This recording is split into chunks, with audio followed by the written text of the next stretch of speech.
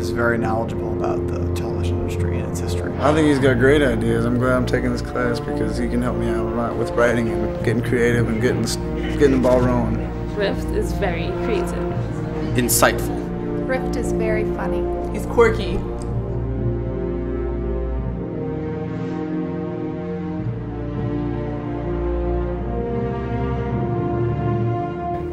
My name is Rift Fournier. Uh, I'm a professor at Lindenwood University uh, in the communications department, or communications school, for, to be very correct, and I'm the artist in residence there. I mean, I've had a, I had a wonderful career. I had a degree in college in philosophy and psychology was my major. Chemistry was my minor, which has prepared me for absolutely nothing except it prepared me for everything. When I say nothing, there was no job particularly it prepared me for, yet it prepared me in many ways for every job, and certainly for a career as a writer. Honey, can't you change their name, Mabel? That's like a 1930s character. I don't know. Okay. And his buddy is saying, hey, you're fucking crazy, man. yeah, exactly. God damn him. He ruined my party. Oh, yeah. That's what this is. Yeah, I like it because it kind of gives you the, the atmosphere. When you This is how. Ingmar Bergman used to write his scripts. Oh, yeah? No, for real. For real? Yeah, the script's gonna be pretty good. You know, my favorite thing about Rift is that he's a full body reader. Whenever he reads something on the page, he's got to react to it like he just got punched. We had the one white Malcolm in our class. Yeah, I met him yesterday. Yeah. I always encourage my students and my advisees whenever they have an opportunity to take a class with Rift Fournier because it's probably going to change their life. It'll be a class like none other that they've ever taken here at Lindenwood.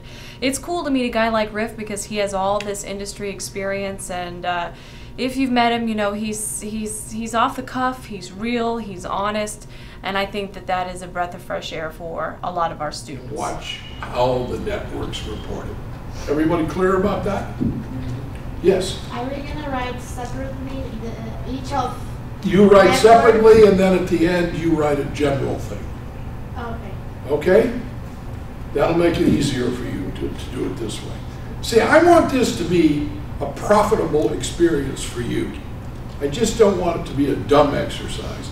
I want you to you learn know, kind of a global sense of the universe. And so I spent time, I worked in public relations, I worked in advertising, not only writing and creating commercials, but I also directed them. kind of right where that is, right? Then you got to tie these two things in, all in one, into this one, Okay. and the confrontation. Okay. And then, then the payoff scene. She discovers she's pregnant. He, she's pregnant. He's gone. Okay. And her friend said, and she tells her friend, you know what I'm saying? Right. How old are you, by the way? How old am I? Yeah. None of your business. He's like around 50, okay? Hey, that's not a question you asked. Okay. I've done 4,000 interviews. I've never dared ask anyone how old they are. The only time you ask how old somebody is is for their obituary. You know what an obituary is? Obituary? Obituary, you know what that is? Uh, I have no idea. That's the story about you when you die. okay. I would guess he's around like a 25. 12. I love working with Rift. Even though he's a little crazy, it's always something new and it's definitely not a boring job at all.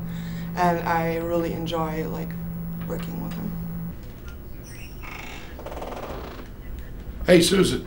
Hi, this is Rift Fournier. I think Dr. Erickson just called me. Or. Sure, thanks. Yeah. How long will it how long will it take? Yeah, how long will it how long will the surgery take? Okay, thanks, Susan. I'll see you then. Bye. I'm going to have surgery. Really? Why? Oh, I got a melanoma skin cancer on my head. Wow. Today? Oh, Yeah, today, 2:30. My surgeon just called me. she says, I'm going away. Can I come and, can you come over this afternoon? I have class at 12. And I did um, television shows. I, you know, wrote and produced a series of uh, award-winning children's television shows for NBC and specials. And then I was the youngest writer on Kojak and the oldest on NYPD Blue. I had a long career in American television. And I actually worked a decade in Europe, working in Spain, France, Germany, and Norway, where I worked on a lot of television shows and, in fact, created one that won the Norwegian Oscar, a thing called Fox Grønland.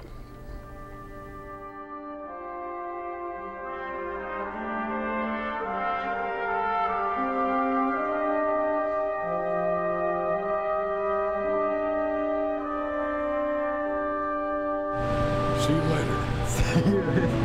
it's so cool watching.